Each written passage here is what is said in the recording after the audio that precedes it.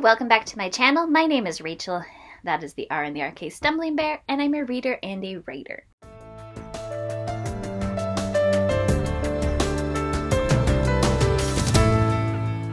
And I'm back for another new release review, and this time it is for And What Can We Offer You Tonight by Premee Mohamed. And this is a novella and I read it on ebook, so I don't have a physical copy, so you guys just get to look at the pretty picture now. First off, this review is going to be spoiler free. I loved the writing of this book when it came to word choice and description.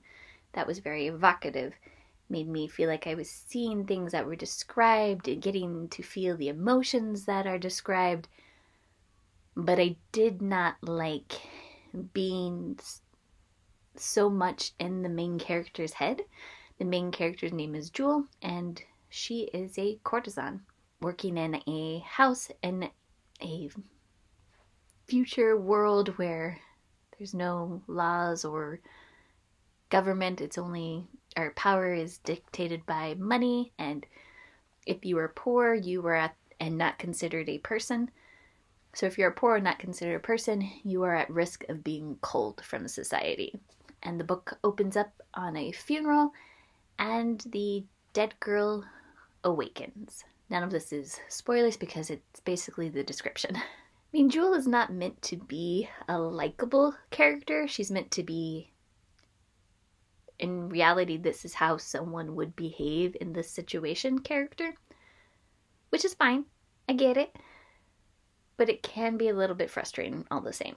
Whereas in a novel, you would have the description and then you would go into, a, into a dialogue scene where people are talking back and forth. You get a few sentences and then you're back in her head.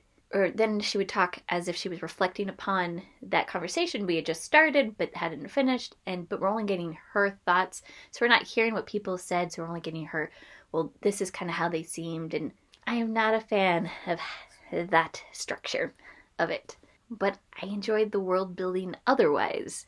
The setting was interesting. It seemed very Venice like with having canals and waterways, but at the same time, you have heli- like, like they call it, I think, hoovers, but like helicopters that fly.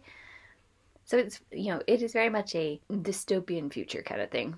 And the book is just Jewel coping with her friend is alive and now no longer contracted to the house because the house thinks she's dead and so so she has become a vigilante. And how does jewel actually feel about that? And how is that causing havoc or not in her life? So if you like beautifully written description and you don't need to connect to your characters this would be a great novella to read. But for me it was okay.